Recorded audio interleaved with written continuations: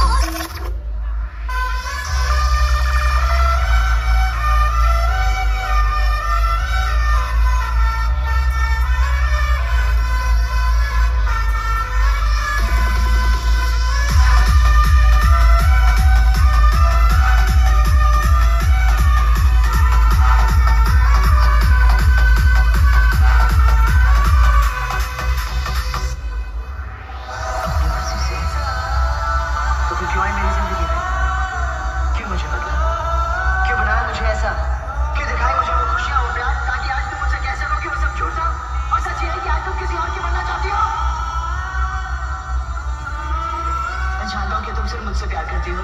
सिर्फ़ मुझसे। मैं तुम्हारे बिना ज़िंदा नहीं रह सकता। हम किसी दूसरे की अमानत है।